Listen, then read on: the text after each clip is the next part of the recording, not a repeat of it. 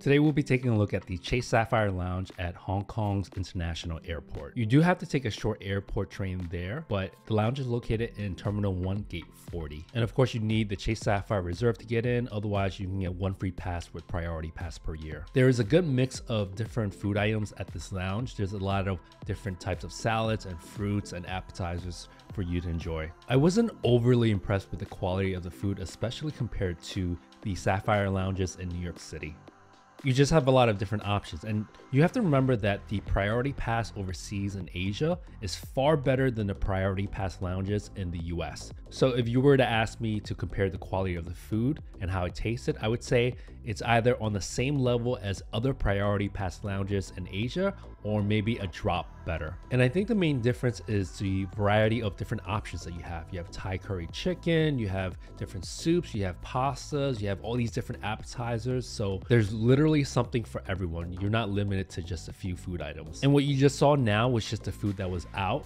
the ready to eat items. There's still a la carte items that we're gonna discuss later on that um, is better in my opinion.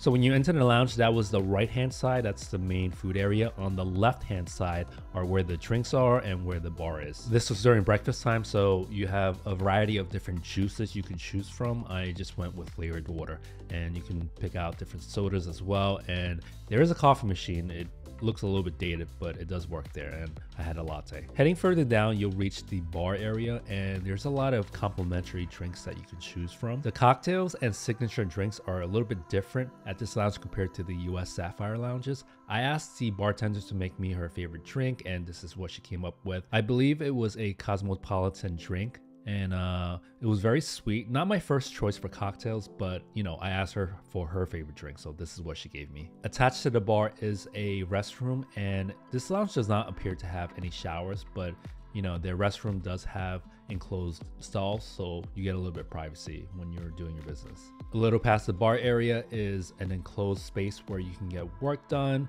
and also a back area where it's a little bit more quiet than the front of the lounge where all the food is.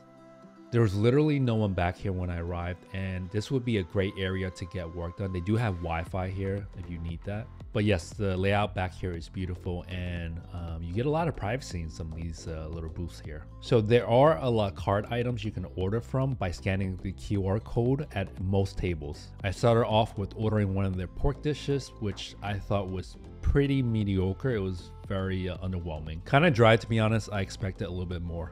But the next item made up for it, it was a dry noodle dish with minced meat on top. The noodles were nice and chewy and the dish itself had a, ton of flavor, so this was fantastic. I've heard that for lunch and dinner you can get char siu, which is barbecue roast pork. Unfortunately, I did not get a chance to try that and I ended the meal with a creamy mango sago dessert from their a la carte menu. So yeah, overall I thought the food was a little underwhelming, but the space is beautiful and you have a lot of different options as well. So it beats staying at a priority pass lounge for sure.